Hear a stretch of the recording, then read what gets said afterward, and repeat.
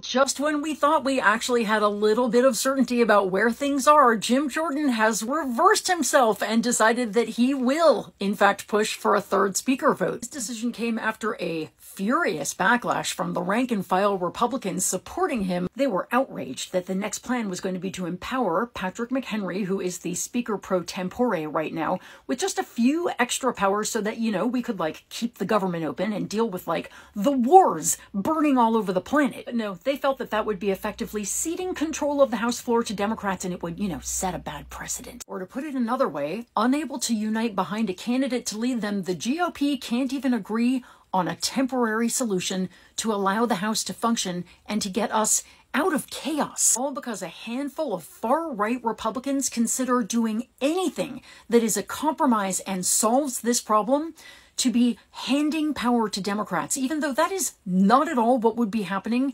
That is what we're dealing with, you guys. Infighting that absolutely sacrifices the well being of Americans to political extremism. Call your Republican representatives, tell them to get with it and stop sabotaging the American government. Nobody loves the Patrick McHenry compromise, but it is the only one we've got right now. And hearing that that compromise is dead because Republicans are too extreme is just not an option. in calling another vote for bully, MAGA, extremist, unqualified Jim Jordan, who also doesn't have the votes, is also not an option. When Scott MacFarlane tweeted that the Republican Party is nowhere, he's actually wrong. They're somewhere. It's called Bedlam, and it's not a place you ever want your government to be. Let's hit the phones, y'all.